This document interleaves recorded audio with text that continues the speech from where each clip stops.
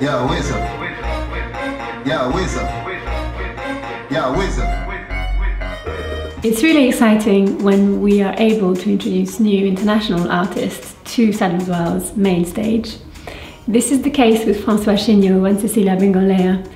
So they're welcomed together in DFS.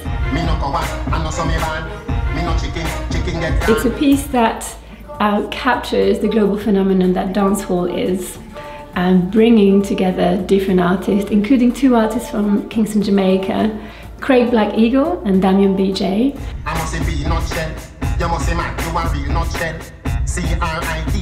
So with dancehall at the core, uh, there's also another really strong element in the piece, which is singing.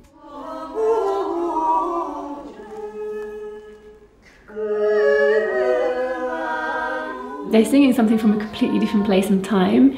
And this is one of the of Francois' uh, areas of research.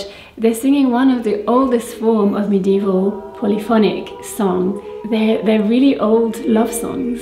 And they sing together as well as, as dancing together. So those two things, even though completely clash from an aesthetic and from a cultural place, are the way that they come together in the work. And that's the way that we also experience this piece as a whole.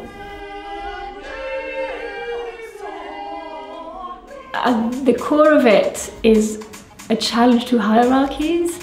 What is meant to be on stage? Most of all, a prestigious stage like the Sadler's Wells' main stage.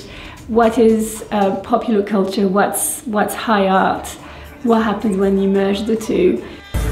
For me, that's one of the reasons why I'm so excited that we can have a dialogue with this kind of work and bring it to London, uh, a place where you know our every day is made of those uh, those constellations.